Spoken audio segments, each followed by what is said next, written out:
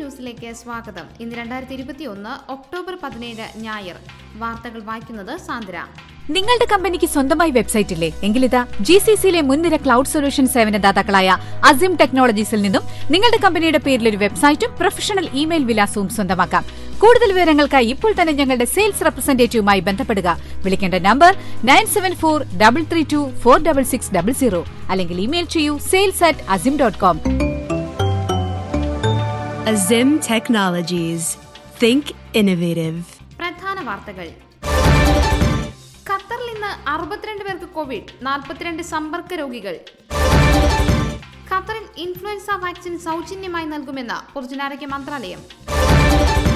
ചികിത്സയിൽ കഴിയുന്ന ലഹരിക്കടിമപ്പെട്ടവർക്കെതിരെ കേസെടുക്കില്ല ഖത്തർ ആഭ്യന്തര മന്ത്രാലയം. ഖത്തറിൽ ഭക്ഷ്യപരിശോധന തുടരുന്നു നിയമലംഘനങ്ങൾക്കെതിരെ ശക്തമായ നടപടി. നിന്നും വനിതാ ഫുട്ബോൾ താരങ്ങൾ ഖത്തറിലെത്തി നന്ദി അറിയിച്ച ഫിഫ. നെറ്റ്ഫ്ലിക്സ് പരമ്പര സ്ക്വിഡ് ഗെയിം ഖത്തർ രക്ഷിതാക്കൾക്ക് മുന്നറിയിപ്പ്.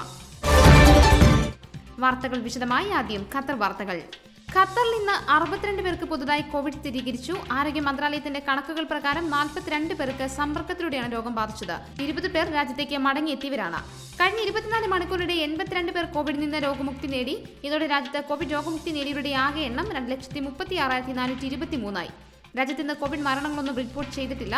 ആകെ മരണസംഖ്യ അറുന്നൂറ്റി എട്ടായി തുടരുന്നു. അതേസമയം രാജ്യത്ത് നിലവിൽ ചികിത്സയിൽ കഴിയുന്നത് എണ്ണൂറ്റി തൊണ്ണൂറ്റി എട്ട് പേരാണ്. എട്ട് പേർ ഐ സിയുവിൽ ചികിത്സയിൽ കഴിയുന്നു. കഴിഞ്ഞ ഇരുപത്തിനാല് മണിക്കൂറിനിടെ രണ്ടായിരത്തി തൊള്ളായിരത്തി തൊണ്ണൂറ് ഡോസ് വാക്സിനുകൾ വിതരണം ചെയ്തു. രാജ്യത്ത് വാക്സിനേഷൻ പ്രോഗ്രാം ആരംഭിച്ചതിന് ശേഷം നാല് ലക്ഷത്തി എഴുപത്തി ഒൻപതിനായിരത്തി മുന്നൂറ്റി അൻപത് ഡോസ് വാക്സിനുകൾ വിതരണം ചെയ്തിട്ടുണ്ട്. അതേസമയം രാജ്യത്ത് നിലവിൽ ചികിത്സയിൽ കഴിയുന്നത് എണ്ണൂറ്റി തൊണ്ണൂറ്റി എട്ട് പേരാണ്. എട്ട് പേർ ഐ സിയുവിൽ ചികിത്സയിൽ കഴിയുന്നു. കഴിഞ്ഞ ഇരുപത്തിനാല് മണിക്കൂറിനിടെ രണ്ടായിരത്തി തൊള്ളായിരത്തി തൊണ്ണൂറ് ഡോസ് വാക്സിനുകൾ കൂടി വിതരണം ചെയ്തു. ഖത്തറിലെ ഹെൽത്ത് സെന്ററുകളിൽ ഇൻഫ്ലുവൻസ വാക്സിൻ സൗജന്യമായി ലഭ്യമാകുമെന്ന് പൊതുജനാരോഗ്യ മന്ത്രാലയം അറിയിച്ചു.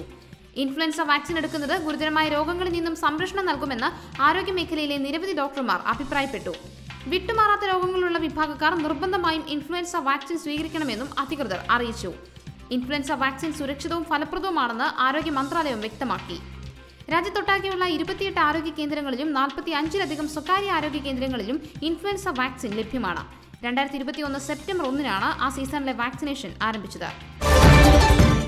ലഹരി വിമുക്തി നേടാൻ ചികിത്സയിൽ കഴിയുന്നവർക്കെതിരെ ക്രിമിനൽ കേസുകൾ എടുക്കില്ലെന്ന് ഖത്തർ ആഭ്യന്തര മന്ത്രാലയത്തിന് കീഴിലുള്ള ജനറൽ ഡയറക്ടറേറ്റ് ഓഫ് ഡ്രഗ് എൻഫോഴ്സ്മെന്റിൽ നിന്നുള്ള ഉന്നത ഉദ്യോഗസ്ഥൻ. ലഹരി മരുന്നുകളും പ്രതിരോധ മാർഗങ്ങളും എന്ന പേരിൽ പ്രവാസികൾക്കായി നടത്തിയ ബോധവൽക്കരണ വെബിനാറിൽ സംസാരിക്കുകയായിരുന്നു അദ്ദേഹം. ആഭ്യന്തര മന്ത്രാലയത്തിന്റെ ഡ്രഗ് എൻഫോഴ്സ്മെന്റിന്റെ ജനറൽ ഡയറക്ടറേറ്റിന്റെ സഹകരണത്തോടെ ഖത്തർ പബ്ലിക് റിലേഷൻസ് വകുപ്പാണ് പരിപാടി സംഘടിപ്പിച്ചത്. നിരോധിത മയക്കുമരുന്നുകളും ലഹരി പദാർത്ഥങ്ങളും ഉപയോഗിക്കുകയോ വിൽക്കുകയോ ചെയ്യുന്നവർക്ക് നിലവിൽ ആറുമാസം മുതൽ ഒരു വർഷം വരെ തടവിലും അയ്യായിരം റിയാൽ മുതൽ പതിനായിരം റിയാൽ വരെ പിഴയുമാണ് ശിക്ഷയെ നൽകുന്നത്. ഔദ്യോഗിക റിപ്പോർട്ടുകൾ പ്രകാരം മിഡിൽ ഈസ്റ്റിലും വടക്കേ ആഫ്രിക്കയിലും ഉൾപ്പെടെ ഉയർന്ന ജനസംഖ്യയുള്ള പ്രദേശങ്ങളിൽ ഏതാണ്ട് അഞ്ച് ലക്ഷത്തിലധികം മയക്കുമരുന്ന് ഉപയോക്താക്കൾ ഉള്ളതായാണ് കണക്കാക്കപ്പെടുന്നത്. ഈ മേഖലയിൽ നിന്നുള്ള ലഹരികൾക്ക് അടിമപ്പെട്ടവരെ ചികിത്സിക്കുന്നതിനും പുനരധിവസിപ്പിക്കുന്നതിനും ഖത്തർ പ്രത്യേക കേന്ദ്രം ഒരുക്കിയിട്ടുണ്ട്. ലഹരിക്ക് അടിമകളായ രോഗികളെ പരിചരിക്കുന്നതിലും അവരെ ചികിത്സിക്കുന്നതിലും അവരെ ലഹരി ഉപയോഗത്തിൽ നിന്ന് മോചിപ്പിക്കുന്നതിലും ഖത്തറിന് മാനുഷിക സമീപനമുണ്ടെന്നും അധികൃതർ വ്യക്തമാക്കി. രാജ്യത്ത് ഭക്ഷ്യവസ്തുക്കളുടെ വിവിധ നിർമ്മാണ സംഭരണ പാക്കിംഗ് കേന്ദ്രങ്ങളിൽ ആഭ്യന്തര മന്ത്രാലയത്തിന്റെ പരിശോധനകൾ തുടരുന്നതായി റിപ്പോർട്ട്. ഈ മാസം ഇതുവരെ ദോഹ മുനിസിപ്പാലിറ്റിയുടെ ആരോഗ്യ നിയന്ത്രണ വിഭാഗം ആയിരത്തി പരിശോധനകളാണ് നടത്തിയത്. പരിശോധനയ്ക്കിടെ കഴിഞ്ഞ ദിവസം ഇൻഡസ്ട്രിയൽ ഏരിയയിലെ ഒരു കമ്പനിയുടെ വെയർഹൌസിൽ നിന്ന് ഭക്ഷ്യയോഗ്യമല്ലാത്ത വിധം തണുത്തുറഞ്ഞ മത്സ്യത്തിന്റെ വൻ ശേഖരം അധികൃതർ പിടികൂടിയിരുന്നു. നിയമലംഘകർക്കെതിരെ അധികാരികൾ ആവശ്യമായ നടപടികൾ സ്വീകരിക്കുകയും ലംഘനം റിപ്പോർട്ട് ചെയ്യുകയും പിടിച്ചെടുത്ത മത്സ്യം നശിപ്പിക്കുകയും ചെയ്തതായി അധികൃതർ അറിയിച്ചു. അതേസമയം ഈ മാസം ഇതുവരെ നടത്തിയ മൊത്തം പരിശോധനകളിൽ അൻപത്തിയഞ്ച് നിയമലംഘനങ്ങൾ കണ്ടെത്തുകയും ഏഴ് സ്ഥാപനങ്ങൾ അടച്ചുപൂട്ടുകയും ചെയ്തു. അറുപത്തിയഞ്ച് സാമ്പിളുകളാണ് ഭക്ഷ്യയോഗ്യമല്ലെന്ന് കണ്ടെത്തി നശിപ്പിച്ചു കളഞ്ഞത്. ഖത്തറിന്റെ സഹായത്തോടെ അഫ്ഗാനിസ്ഥാനിൽ നിന്നും നൂറ് ഫുട്ബോൾ കളിക്കാരെ ഖത്തറിലെത്തിച്ചതായി ഫിഫ അറിയിച്ചു. വ്യാഴാഴ്ച കാബൂളിൽ നിന്നെത്തിയ വിമാനത്തിൽ വനിതാ ഫുട്ബോൾ താരങ്ങളും പരിശീലകരും അവരുടെ കുടുംബങ്ങളും ഉണ്ടായിരുന്നതായി ഖത്തർ വിദേശകാര്യ സഹമന്ത്രി ലുൽവ അൽ ഖാദർ പറഞ്ഞു. അഫ്ഗാനിൽ നിന്നും താരങ്ങളെ സുരക്ഷിതമായി എത്തിക്കുന്നതിന് പിന്തുണയും സഹായം നൽകിയ ഖത്തർ ഭരണകൂടത്തിന് ഫിഫ പ്രത്യേക നന്ദി രേഖപ്പെടുത്തി. കാബൂളിൽ നിന്നുമുള്ള എട്ടാമത്തെ യാത്രക്കാരുടെ വിമാനത്തിലാണ് കളിക്കാരും കുടുംബങ്ങളും എത്തിയത്. മുന്നൂറ്റി അൻപത്തിയേഴ് യാത്രക്കാരുമായാണ് വിമാനം ഖത്തറിലെത്തിയത്. താലിബാൻ അധികാരം ഏറ്റെടുത്തതോടെ രാജ്യം വിടാൻ ആഗ്രഹിച്ച താരങ്ങൾക്ക് രാജ്യാന്തര ഫുട്ബോൾ ഫെഡറേഷനായ ഫിഫയുടെ നേതൃത്വത്തിൽ വഴിയൊരുക്കുകയായിരുന്നു. ഖത്തറിൽ നെറ്റ്ഫ്ലിക്സ് പരമ്പരയായ സ്ക്വിഡ് ഗെയിമിനെതിരെ മുന്നറിയിപ്പുമായി വിദഗ്ധർ രംഗത്തെത്തി. സ്ക്വിഡ് ഗെയിം പരമ്പര വിദ്യാർത്ഥികൾക്കിടയിൽ ഗെയിമുകൾ കളിക്കാൻ പ്രചോദനം നൽകുന്നതിനാൽ രാജ്യത്തെ എല്ലാ സ്കൂളുകളിലും കുട്ടികളുടെ സൈക്കോളജിസ്റ്റുകളും ഓൺലൈൻ സുരക്ഷ ആവശ്യപ്പെട്ടിട്ടുണ്ട്. ഈ പരമ്പര കുട്ടികളുടെ മാനസികാരോഗ്യത്തിന് അപകടമുണ്ടാക്കുമെന്നാണ് രക്ഷിതാക്കളും സൈക്കോളജിസ്റ്റുകളും പറയുന്നത്. നിഷേധാത്മകവും അക്രമാസക്തവുമായ സന്ദേശങ്ങളാണ് ഈ പരമ്പരകൾ നൽകുന്നത് എന്നാണ് വിദഗ്ധർ വിലയിരുത്തുന്നത്. വിദ്യാർത്ഥികളുടെ മാനസികാരോഗ്യവും വൈകാരിക ക്ഷേമവും സംബന്ധിച്ച അപകട സാധ്യതകളെക്കുറിച്ച് അവബോധം സൃഷ്ടിക്കാൻ ലെബനി സ്കൂൾ ഓഫ് ഖത്തർ എല്ലാ രക്ഷിതാക്കൾക്കും ഒരു സർക്കുലർ അയച്ചതായി ദോഹ ന്യൂസ് റിപ്പോർട്ട് ചെയ്തു. Carson cargo. നിങ്ങളുടെ വിലപ്പെട്ട പാർസലുകൾ അവിശ്വസനീയമായ വേഗതയിൽ അയക്കൂ സന്തോഷിക്കൂ കുടുംബത്തോടൊപ്പം Carson cargo. IATA aviation W C A I S O അംഗീകാരവും ഇന്ത്യൻ കസ്റ്റംസിൽ രജിസ്ട്രേഷനുമുള്ള ഖത്തറിലെ ഏറ്റവും വലിയ കാർഗോ കമ്പനി. ഒട്ടും ടെൻഷനില്ലാതെ വിശ്വസിച്ചു സാധനങ്ങൾ അയക്കാൻ ഖത്തർ പ്രവാസികളുടെ വിശ്വസ്ത cargo partner. Carson cargo mobile and WhatsApp double seven two one three two one two double five seven three double two double three മറ്റ് മിഡിൽ ഈസ്റ്റ് വാർത്തകൾ. ഒമാനിൽ കഴിഞ്ഞ എഴുപത്തിരണ്ട് മണിക്കൂറിനിടെ ഇരുപത്തി ഒൻപത് പേർക്ക് കൂടി കോവിഡ് സ്ഥിരീകരിച്ചതായി ആരോഗ്യ മന്ത്രാലയം അറിയിച്ചു. കഴിഞ്ഞ മൂന്ന് ദിവസത്തെ കണക്കുകളാണ് മന്ത്രാലയം പുറത്തുവിട്ടത്. മൂന്ന് ദിവസത്തിനിടെ രണ്ട് കോവിഡ് മരണങ്ങൾ കൂടി റിപ്പോർട്ട് ചെയ്തു. രോഗം സ്ഥിരീകരിച്ച് ചികിത്സയിലായിരുന്ന അറുപത്തിരണ്ട് പേർ കൂടി രോഗമുക്തരായി. ഇതുവരെ മൂന്ന് ലക്ഷത്തി നാലായിരത്തി അൻപത്തിനാല് പേർക്ക് രാജ്യത്ത് കോവിഡ് സ്ഥിരീകരിച്ചിട്ടുണ്ട്. ഇവരിൽ രണ്ട് ലക്ഷത്തി തൊണ്ണൂറ്റി ഒൻപതിനായിരത്തി നാനൂറ്റി ഇരുപത്തിനാല് പേർ ഇതിനോടകം രോഗമുക്തരായി. യു എയിൽ പുതുതായി തൊണ്ണൂറ്റി ഒൻപത് പേർക്ക് കോവിഡ് സ്ഥിരീകരിച്ചു. നൂറ്റി അൻപത്തി മൂന്ന് പേർ കൂടി ഇന്ന് രോഗമുക്തി നേടി. രാജ്യത്ത് ഇന്ന് കോവിഡ് ബാധിച്ച് രണ്ട് പേർ കൂടി മരിച്ചു. രാജ്യത്ത് ഇതുവരെ രണ്ടായിരത്തി ഒരുന്നൂറ്റി ഇരുപത് പേരാണ് വൈറസ് ബാധിച്ച് മരിച്ചത്. കേരള വാർത്തകൾ.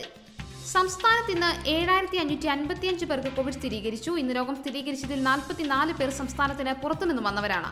ഏഴായിരത്തി ഒരുന്നൂറ്റി അറുപത്തിരണ്ട് പേർക്ക് സമ്പർക്കത്തിലൂടെയാണ് രോഗം ബാധിച്ചത്. ഇരുന്നൂറ്റി എഴുപത്തി എട്ട് പേരുടെ സമ്പർക്ക ഉറവിടം വ്യക്തമല്ല. എഴുപത്തിയൊന്ന് ആരോഗ്യ പ്രവർത്തകർക്കും ഇന്ന് രോഗബാധ സ്ഥിരീകരിച്ചു.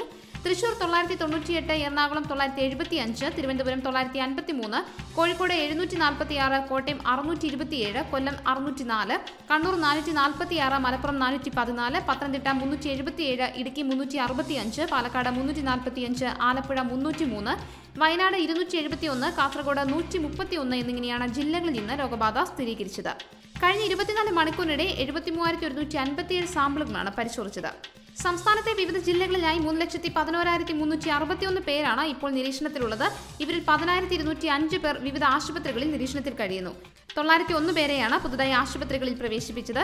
കഴിഞ്ഞ ദിവസങ്ങളുണ്ടായ എഴുപത്തിനാല് മരണങ്ങളാണ് കോവിഡ് മൂലമാണെന്ന് ഇന്ന് സ്ഥിരീകരിച്ചത്. ഇതോടെ ആകെ മരണം ഇരുപത്തിയാറായിരത്തി എണ്ണൂറ്റി അറുപത്തി അഞ്ചായി രോഗം സ്ഥിരീകരിച്ച് ചികിത്സയിലായിരുന്ന പതിനായിരത്തി എഴുന്നൂറ്റി എഴുപത്തിമൂന്ന് പേർ രോഗമുക്തി നേടി. ഇതോടെ എൺപത്തി ഏഴായിരത്തി അഞ്ഞൂറ്റി തൊണ്ണൂറ്റി മൂന്ന് പേരാണ് രോഗം സ്ഥിരീകരിച്ച് ഇനി സംസ്ഥാനത്ത് ചികിത്സയിലുള്ളത്. വിനിമയ നിരക്ക്. ഇന്ത്യൻ രൂപയുമായുള്ള വിനിമയത്തിൽ ഒരു ഖത്തർ റിയാലിന് ഇരുപത് ദശാംശം നാല് ഏഴ് രൂപ ലഭിക്കും. പ്രധാന വാർത്തകൾ വീണ്ടും. ഖത്തറിൽ ഇന്ന് അറുപത്തിരണ്ട് പേർക്ക് കോവിഡ് നാൽപ്പത്തിരണ്ട് സമ്പർക്ക രോഗികൾ. ഖത്തറിൽ ഇൻഫ്ലുവൻസ വാക്സിൻ സൗജന്യമായി നൽകുമെന്ന് പൊതുജനാരോഗ്യ മന്ത്രാലയം.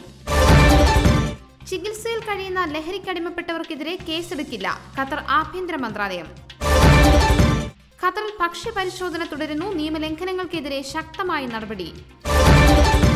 അഫ്ഗാനിൽ നിന്നും വനിതാ ഫുട്ബോൾ താരങ്ങൾ ഖത്തറിലെത്തി. നന്ദി അറിയിച്ച ഫിഫ.